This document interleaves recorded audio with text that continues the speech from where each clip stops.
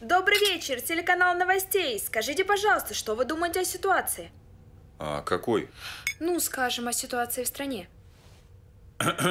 А, ситуация полный пиздец. Вот что с людьми сделал телевизор. Они вообще ни хрена не понимают, что происходит. Все отчаянно рвут жопу за искусственно созданные ценности. В общем, хотел бы я позырить.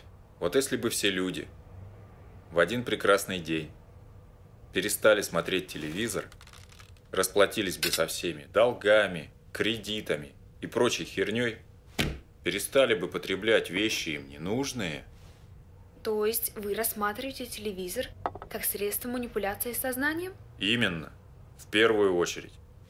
Да, вот бы такой флешмоб устроить. И как вы думаете, что бы тогда произошло? Ну, думаю, экономика бы рухнула нахрен. После такого бы передохла половина народу. Но, во-первых, это была бы худшая половина.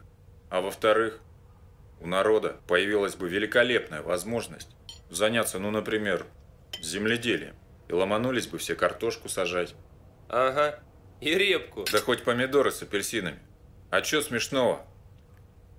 Земледелие, между прочим, единственная форма деятельности, которая отличает человека от других животных. Ну я, например, себя животным не считаю. Ха, не считает он себя животным. Не знал, что у тебя ученая степень в этом вопросе. Готов выслушать обратную, аргументированную точку зрения.